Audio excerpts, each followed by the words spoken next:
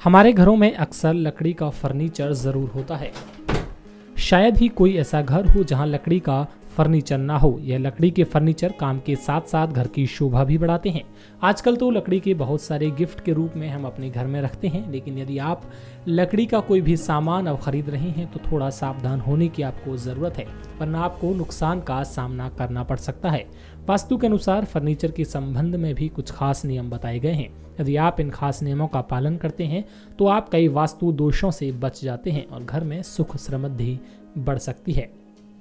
चलिए आपको बताते हैं कि घर में फर्नीचर से जुड़ी कौन कौन सी बातें ध्यान रखनी चाहिए। आपको बता दें कि कभी भी मंगलवार, शनिवार और अमावस्या तिथि पर फर्नीचर या नई लकड़ी खरीदना मानो बुरी शक्तियों को बुलावा देना है। अगर आप नया घर बना रही हैं और उसमें लकड़ी का काम करवाना चाहते हैं तो उसे अपनी सुविधा अनुसार न करवा कर वास्तु के अनुसार ही करवाएँगे तो आपके लिए बेहद ही शुभ हो सकता है। याद रहे कि लकड़ी का काम हमेशा उत्तर या पश्चिम दिशा से शुरू होकर दक्षिण पूर्व दिशा में खत्म करवाना चाहिए। कभी भी आपको घर पर फर्नीचर बनवाना हो तो शुभ मुहूर्त देख कर बनवाएँ और लकड़ी खरीद कर ही बनवाना चाहिए। नई लकड़ी भूल भी उत्तर पूर्व या उत्तर पूर्व दिशा में ना रखें। घर में साज सज्जा के लिए और आर्थिक नुकसान से बचने के लिए हल्का फर्नीचर उत्तर और पूर्व दिशा में सजाना चाहिए।